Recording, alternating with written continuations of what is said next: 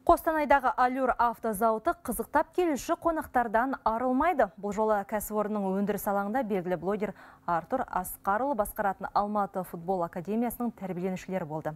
Балалар өндіріс цехтарын аралап, көл құрастыру процесін өз көзімен көрді.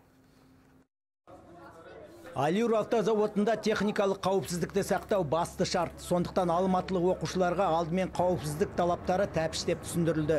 Арнайы киімдер балаларға сәл үлкендеу екен, бірақ оны елеп жатқан ешкім жоқ. Барлық зауыт ішіне кіріп, машинаның қалай жасалатындығын көруге асық. Экскурсия бояу цехынан басталды.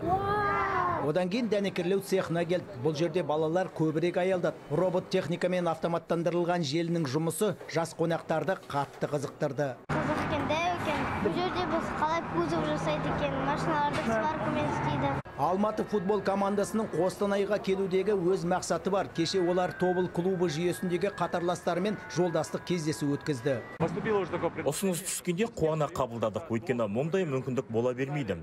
Шынымды айтсам өзімде машинаны қалай құрастырып жинайтынын жақыннан көрген емеспін. Зауыттың ауқымдылығы таңғалдырдым. Қазақстанда жүрген әрбір екінші үшінші көлік осы жерден шығады екен.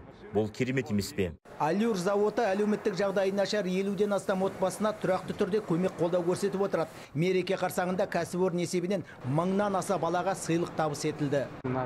бізде алдын ала белгіленген іс шаралар кестесі бар соның аясында мысалы аналар үйіне ұдайы көмек көрсетеміз сондай ақ кәмелетке толмағандарды бейімдеу және әлеуметтік қызмет орталықтарынан қол ұшын беріп отырамыз Мектепке жол қайырымдылық шарасы да Алюр зауыты үшін дәстүрлі шаралардың бірі. Мағауия Қалиев, Ермек Мұхамедияров, Қостанай, Хабар 24.